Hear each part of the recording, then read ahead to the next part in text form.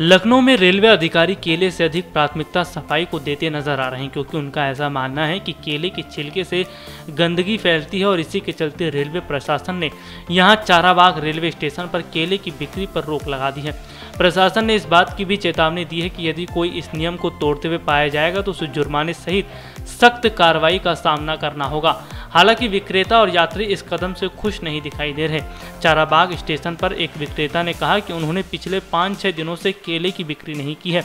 प्रशासन ने इसकी बिक्री पर रोक लगा दी है। पहले गरीब लोग केले की खरीदारी करते थे, क्योंकि अधिकतर अन्य फल महँगे होते हैं। लखनऊ और कानपुर के बीच रोज़ाना रेलवे सफ़र करने वाले एक युवक ने बताया कि केले सबसे सस्ते और स्वास्थ्यवर्धक और सुरक्षित फल हैं, जिसका उपयोग कोई सफ़र के दौरान कर सकता है। यह कहना बेतुका है कि केले से गंदगी फैलती है। यदि यह सही है तो शौचालय में भी प्रतिबंध लगा देना चाहिए, क्योंकि सबसे ज़्यादा गंदगी वहीं पैदा होती है।